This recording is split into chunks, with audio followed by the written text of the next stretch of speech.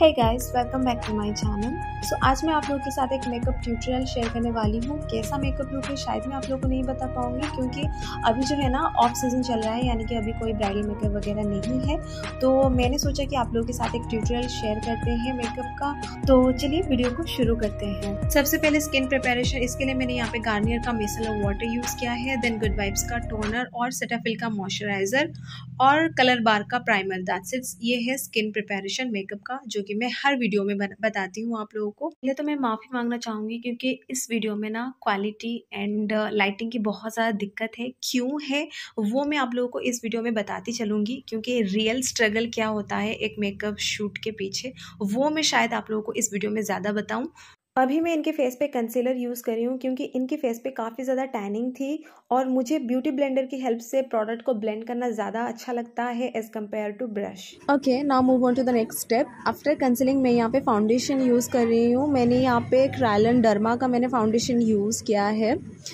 जिस दिन ये शूट हो रहा था ना गाइस मैं बता नहीं सकती कि उस दिन ना बहुत ही ज़्यादा बारिश हो रही थी और मेरे जो कैमरा वाले भाई साहब हैं, वो बारिश में भीग कर आ रहे थे मेरे पास। और उस दिन हमारे पास आउटफिट्स भी नहीं था तो मुझे पहले ही मेकअप एंड हेयर स्टाइल काम ख़त्म करना था। और मुझे जो लुक मैंने मैंने सोच कर रखा था उसके लिए जो आउटफिट्स मुझे चाहिए थी वो मुझे मिला नहीं तो मुझे आ, उस टाइम मुझे जो भी आउटफिट्स मिला मुझे उसी से ही हम लोगों को शूट ख़त्म करना पड़ा। और मेकअप में ना बहुत ज़्यादा टाइम लगता है। जितना टाइम आप लोगे उतना अच्छा होता है। पर हमारे साथ क्या होता है कि एक लिमिटेड टाइम में हमें शूट ख़त्म करना होता है। हेयर स्टाइल आउटफिट्स मेकअप ये सब कुछ ख़त्म करना होता है। आई थिंक मुझे सिर्फ़ एक घंटा या फिर डेढ़ घंटा लगा होगा मुझे मेकअप हेयर स्टाइल और आउटफिट्स को रेडी करने में। इसीलिए मैं शूट और लाइटिंग का ज़्यादा ध्यान नहीं रख पाई क्योंकि मैं बहुत जल्दी में मेकअप कर रही थी। Okay let's explain something about makeup अभी मैं यहाँ पे इनके फेस को ना बेकिंग कर रही हूँ यानी कि पाउडर सेटिंग कर रही हूँ। पाउडर सेट करना अच्छे से बहुत ज़्यादा ज़रूरी है क्योंकि मेकअप जो है वरना क्रीज हो जाता है। और मेकअप के दौरान ना कभी कभी क्लाइंट भी आते हैं तो उनका आईब्रोज या फिर उनका काम भी ख़त्म करना होता है तो बहुत ज़्यादा परेशानी होती है ये सब कुछ हैंडल करना अकेले। और मेरी एक स्टूडेंट भी थी यहाँ पे तो मैं उन्हें थोड़ा बहुत समझा भी रही थी कि आ, क्या होता है कैसे होता है मेकअप का। मेकअप एक ऐसा आर्ट होता है ना आपके पास जितना भी टाइम में, उतने ही टाइम में आपको बेस्ट देना होता है। मैं बस वही कर रही थी, मेरे पास जितना भी टाइम था, उसी में मैं अपना बेस्ट देने की कोशिश कर रही थी। अभी मैंने यहाँ पे इनके फेस पे blush contour and highlighter use कर रही हूँ।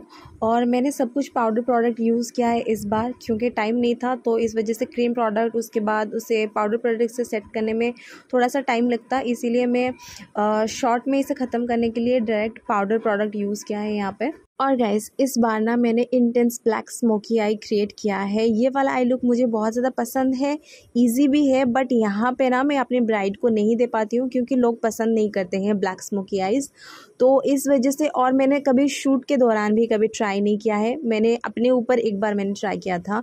और ये वाला आई लुक ना सबसे ईजी होता है। आप किसी भी कलर से कर सकते हो। मैंने यहाँ पे ब्लैक कलर से कर रही हूँ। आपके आई शेडो पैलेट में जो भी कलर है आप उसी से कर सकते हो।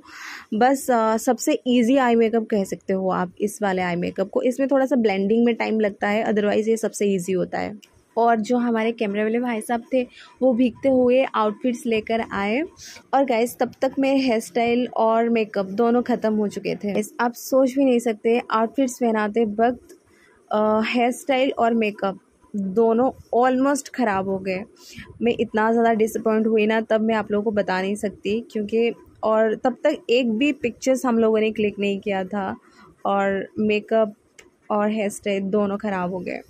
और जो आउटफिट्स हमारे पास था, वो इस मेकअप लुक के साथ मैच नहीं कर रहा था और उससे अच्छे से पिक्चर्स भी नहीं आ रहे थे उस ड्रेस में। तो हम लोगों ने दो तीन पिक्चर्स हम लोगों ने क्लिक किया, उसके बाद हम लोगों ने चेंज कर दी और एक आउटफिट्स के साथ हमें शूट करना पड़ा। और क्योंकि उस दिन बहुत ज़्यादा बारिश हो रही थी तो इस वजह से काम ख़त्म करते हम लोगों को रात के ग्यारह बज गए। तो बस यही होता है, हम लोग मेकअप करते हैं तो उसके पीछे यही होता है रियल स्ट्रगल और आप लोगों को ये वाला स्मोकी आई कैसा लगा मुझे कमेंट करके ज़रूर बताना।